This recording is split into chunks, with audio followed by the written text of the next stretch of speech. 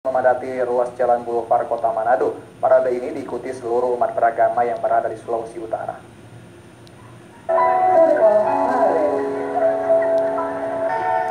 Dengan mengenakan baju dan ornamen Santa Claus yang identik dengan warna merah, serta menggunakan janggut putih, ribuan warga mengikuti parade Santa Claus dalam rangka Festival Christmas 2018 yang digelar pemerintah Sulawesi Utara di ruas Jalan Boulevard Manado. Parade Santa Claus ini merupakan tradisi warga Sulawesi Utara menjelang perayaan Hari Natal dan Tahun Baru.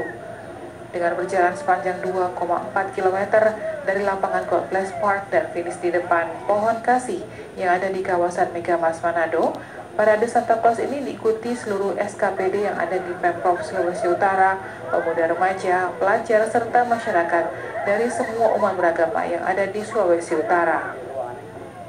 Dia betul mempersatukan seluruh umat yang ada di Sulawesi Utara. Jadi tidak ada beda di agama.